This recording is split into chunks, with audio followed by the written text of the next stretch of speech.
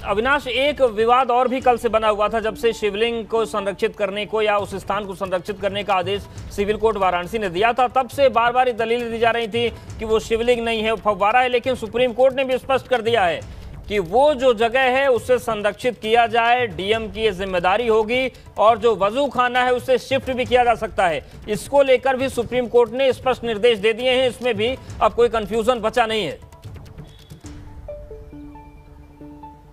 जी, बिल्कुल, अगर बात करें तो वाराणसी के जिला अधिकारी को यह स्पष्ट निर्देश दिया गया है कि अगर शिवलिंग वहाँ पे है तो उसकी पूरी तरीके से रक्षा वाराणसी के जिला प्रशासन यानी कि वाराणसी के जिला अधिकारी करे। किसी भी तरीके से उस पर कोई भी साक्ष्य पे आँच नहीं आनी चाहिए। और साथ ही ये भी आदेश दिया है कि नमाज़ भी नहीं रुकनी चाहिए। जो नमाज़ को लेकर के तमाम सारे जो मुस्लिम पक्षकार हैं, वो अपनी ओर से चाहे वाराणसी की जिला अदालत हो या फिर अगर बात करें तो सुप्रीम कोर्ट में जिस तरीके से हुजैफा अहमदी दलीलें रख रहे थे तो उनका भी यही कहना था कि नमाज़ को रोका जा रहा है। तो सुप्रीम कोर्ट ने स्पष्ट डायरेक्शन दिया है कि नमाज़ भी नहीं रुकनी चाहिए। नमाज़ जिस तरीके से हो रही है। नमाज़ भी हो सुरक्षा का पूरा ध्यान वाराणसी के जिलाधिकारी रखे और अगर ज़रूरत पड़े तो सीआरपीएफ के भाई सहयोग ले। उसमें तो यह स्पष्ट कर दिया गया है कि नमाज़ भी होती रहेगी और जो शिवलिंग मिलने की बात आई है तो उस शिवलिंग को अगर मिले हैं तो उसको पूरी तरीके से और अविनाश जाँच है जो सुरक्षा है एक चीज़ और भी स्पष्ट होती है कि जिलाधिकारी की है। वाराणसी सिविल कोर्ट ने जिस तरीके के डायरेक्शन दिए थे वैसे ही डायरेक्शन सुप्रीम कोर्ट के भी है यानी कि पूरी जो कार्य पूरी प्रक्रिया जो सिविल कोर्ट में चल रही थी, सुप्रीम कोर्ट उससे संतुष्ट है, क्योंकि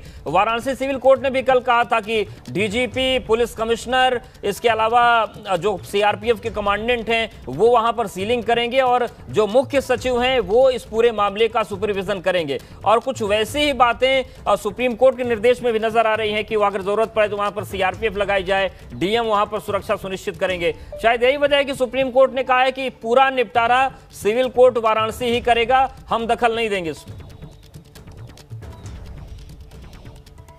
जी देखिए आज की सुनवाई में सुप्रीम कोर्ट ने स्पष्ट किया है कि जो वाराणसी सिविल कोर्ट है वो इस पूरे मामले में त्वरित कार्यवाही करे और पूरा निपटारा करे। हालाँकि अगर बात करें तो मुस्लिम पक्ष की ओर से ये बात हुजैफा अहमदी ने ज़रूर कही है कि उनको नहीं सुना जा रहा है सिर्फ़ एक पक्ष को सुना जा रहा है हिंदू पक्ष को सुनकर के आदेश पारित कर दिया जा रहा है। मुस्लिम पक्ष की पैरोकारी को ठीक तरीके से वाराणसी सिविल कोर्ट नहीं सुन रहा। ये उन्होंने सिविल कोर्ट के ऊपर ज़रूर आरोप लगाया है लेकिन सुप्रीम कोर्ट ने साफ़ तौर पर कहा कि हम यह आदेश देंगे कि सभी पक्षों को और सभी साक्ष्यों को ध्यान से सुनने के बाद ही कोई आदेश पारित किया जाए और इस पर जो भी तो आदेश रहे, वो वाराणसी सिविल कोर्ट ही जो है अपनी ओर से दे। लेकिन इसके बाद अगर बात करें तो साफ़ तौर पर क्योंकि अभी पूरी तरीके से सुप्रीम कोर्ट की जो प्रोसीडिंग है, वो खत्म नहीं हुई है। सुप्रीम कोर्ट ने आज ज़रूर कोई आदेश नहीं पारित किया है, सिवाय एक आदेश के, कि जहाँ पे शिवलिंग मिला है, उसकी पूरी तरीके से रक्षा वाराणसी के जिलाधिकारी करे और वो जैसा समझे वैसी सुरक्षा सुनिश्चित करे। अगर उनको सीआरपीएफ चाहिए तो सीआरपीएफ के साथ सुरक्षा सुनिश्चित करे, या फिर अगर वो सुरक्षा सुनिश्चित करने में सक्षम है तो सुरक्षा सुनिश्चित करें। लेकिन नमाज़ भी नहीं रुकने चाहिए, ये आदेश ज़रूर पारित किया है। इसके अलावा सुप्रीम कोर्ट ने कोई अन्य आदेश तो नहीं पारित किया है, लेकिन ये ज़रूर है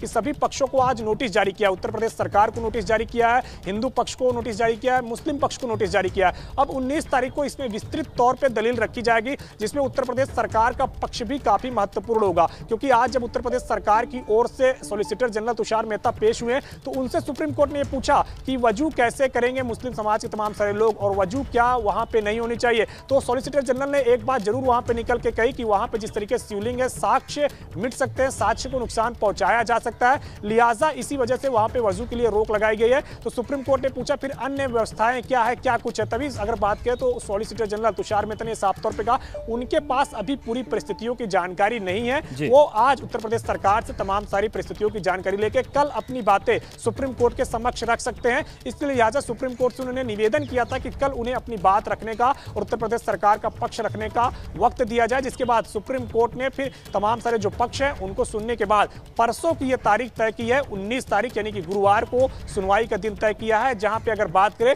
तो सुप्रीम कोर्ट, हिंदू पक्ष को भी सुनेगा क्योंकि जो हिंदू पक्ष के वकील थे हरिशंकर जैन, उनकी तबीयत ठीक नहीं थी, इस वजह से वो आज कोर्ट के समक्ष पेश नहीं हो सके। और ये बात सोलिसिटर जनरल तुषार मेहता ने सुप्रीम कोर्ट को बताई, जिसके बाद सुप्रीम कोर्ट ने कहा कि उस बात को वो समझते हैं और इस बार इसलिए उन्नीस तारीख तय कर रहे हैं। जहाँ पे अगर बात करें तो गुरुवार को इस पूरे मामले की सुनवाई सुप्रीम कोर्ट करेगा, हिंदू पक्ष को भी सुनेगा, मुस्लिम पक्ष को भी सुनेगा और उत्तर प्रदेश सरकार को भी नहीं सुनेगा। तीनों पक्ष को सुनने के बाद फिर जो आदेश होगा वो दिया जाएगा। लेकिन आज अगर सुप्रीम कोर्ट की पूरी प्रोसीडिंग को ध्यान से देखें तो एक बात स्पष्ट समझ में आ रही है कि सुप्रीम कोर्ट इस पूरे मामले को वाराणसी की जो जिला न्यायालय है वहाँ से जो ये तमाम सारे आदेश निकल रहे हैं वहीं से निकलने देगा और हो सकता है कि अपनी ओर से कुछ डायरेक्शन दे अपनी ओर से कुछ बातें कहे अपनी ओर से कुछ चीज़ें तय करे जिससे कि वाराणसी की जो जिला अदालत है जहाँ पे तमाम सारी सुनवाई चल रही है वहाँ से तमाम सारी जो प्रक्रियाएँ हैं वो ठीक तरीके से हो सके वहाँ पर त्वरित जो है प्रक्रियाएँ हो सके इसको लेकर के वो कुछ डायरेक्शन दे सकता है लेकिन ये सब कुछ तय होगा जब परसों सुनवाई होगी तो बिल्कुल परसों सुनवाई होगी अविनाश बने रही कुछ बड़ी बात बातें वो हम बता देते हैं। सुप्रीम कोर्ट ने कहा है कि वज़ू की वजह से शिवलिंग को नुकसान न पहुँचे लोगों को नमाज़ पढ़ने से नहीं रोका जाए ये निर्देश दिया है सिविल कोर्ट को।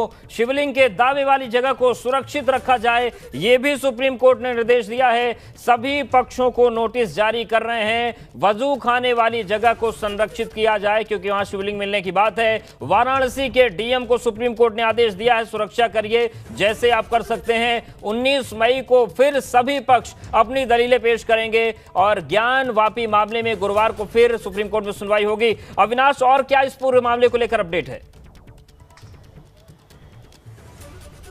देखिए, सुप्रीम कोर्ट की ओर से अब आदेश आ गया है। आदेश में जो तीन बातें स्पष्ट की गई है। पहली बात अगर मैं आपको बताऊँ तो सुप्रीम कोर्ट ने यह कहा है कि 19 मई को इस पूरे मामले पर वो सुनवाई करेगा। गुरुवार का दिन है, जहाँ पे हिंदू पक्ष, मुस्लिम पक्ष और उत्तर प्रदेश सरकार तीनों पक्ष की दलीलें सुनेगा। दूसरी बात अगर बात करें तो सुप्रीम कोर्ट ने वाराणसी की सुनवाई पर रोक लगाने से इंकार कर दिया है। जो वाराणसी कोर्ट पर सुनवाई चल रही है, उस पर रोक लगाने की मांग की गई थी। वकील हुजैफा अहमदी की ओर से इस पर सुप्रीम कोर्ट ने इंकार कर दिया सुप्रीम कोर्ट ने इस पर साफ़ तौर पर कहा कि वाराणसी कोर्ट पर जो भी प्रोसीडिंग चल रही है, फ़िलहाल वो उस पर रोक नहीं लगाएगा।